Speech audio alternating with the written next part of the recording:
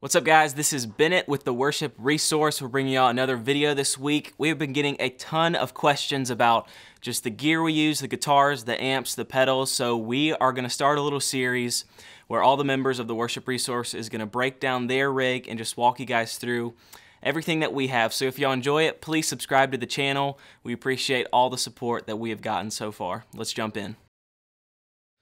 So for the guitar that I'm using, I have one electric. It is this 2016 TMG uh, Ronnie Scott. I actually bought this off of Sam uh, a few months ago, um, and I have loved it. It has a TMG P90 pickup in the neck and then a TMG PAF pickup in the bridge.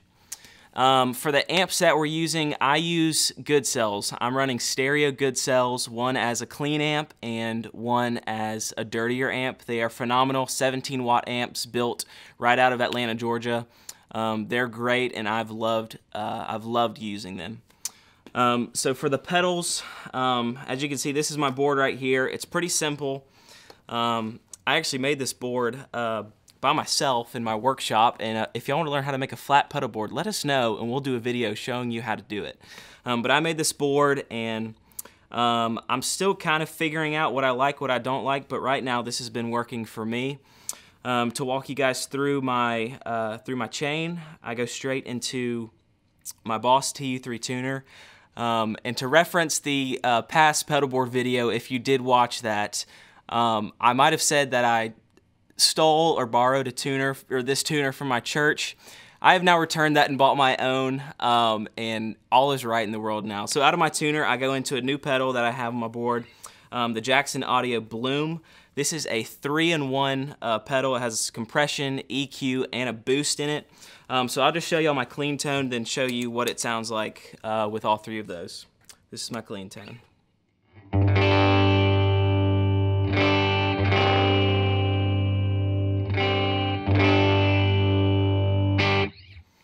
So for the compression I use, there's actually like seven settings you can uh, you can choose from for compression. Um, I uh, I like my compression on the lighter side, so I'm using one with uh, a quick attack and um, just really light compression. So this is what it sounds like with the compressor on.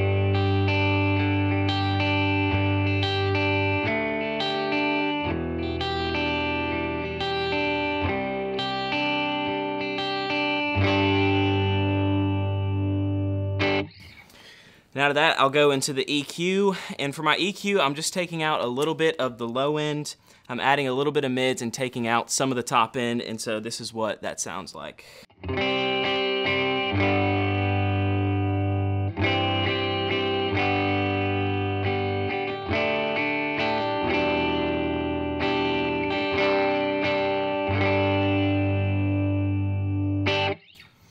The last part of this pedal is just a boost. All that does is just raise the volume. It doesn't add any color or flavor. Um, it just simply adds um, more volume to my signal.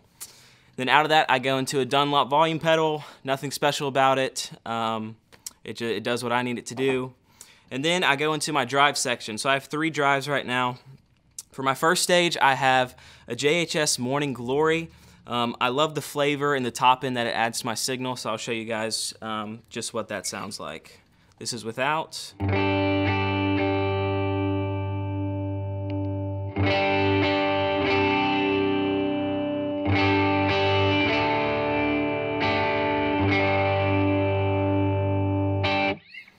I uh, love that pedal. Um, I leave that on most of the time, but um, sometimes I'm doing cleaner stuff. I'll, I'll have all my drives off.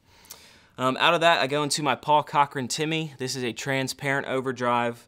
Um, probably one of my favorite pedals on the board. It doesn't add any color or flavor. It just adds more grit to my signal, so I'll show you guys what that sounds like.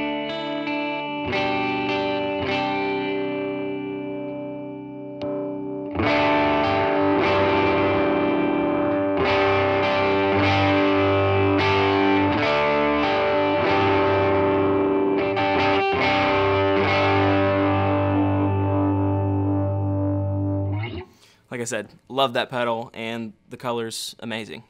Um, out of that, I go into another new pedal on my board, which is the Benson preamp. Um, right now, I'm running this thing as a fuzz. It can get super, super gritty and just you can add so much gain to this thing and it sounds incredible. Um, I think I like it here. I've played around just using it as a preamp, but right now I'm sticking uh, sticking uh, sticking it with a fuzz. So um, I'll show you guys what that sounds like. I'll add some delay to it too.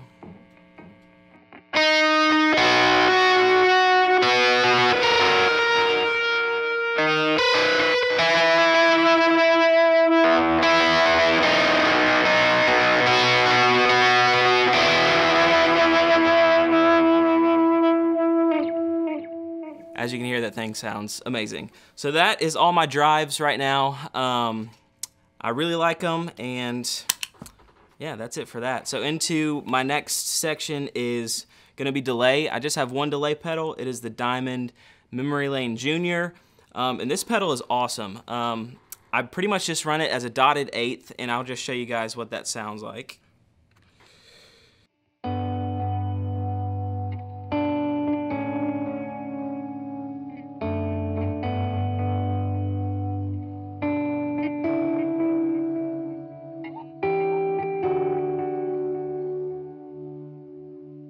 So yeah, like I said, it pretty much stays on a dotted eighth uh, delay. And then another cool thing with this pedal is it has a modulation wheel.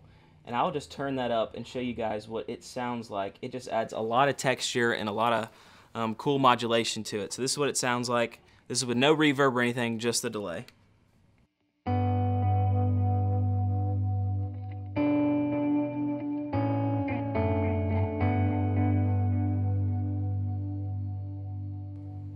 As you can tell, that just sounds gorgeous.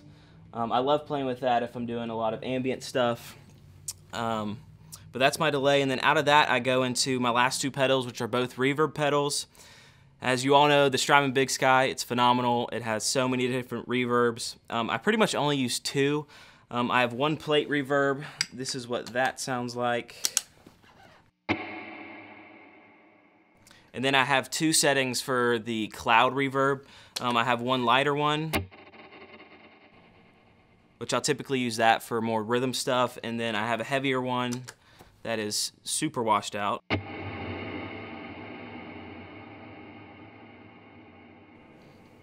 Yeah, really heavy. And then out of that, I go into my RV6, which I only use for swells. Um, so I'll click that on and typically pair it with um, with one of the uh, reverbs in the Big Sky. So I'll show you what that sounds like with a few swells.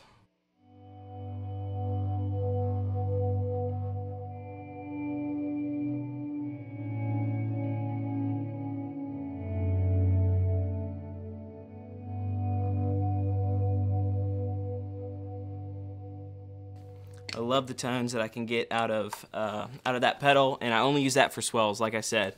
And that is pretty much um, that's pretty much my rig. I, I try to keep it simple. Um, if y'all enjoyed the video, please subscribe. If you have any questions about anything, put it down in the comments and we'll be more than happy to answer it. We love you guys. We'll see y'all next time.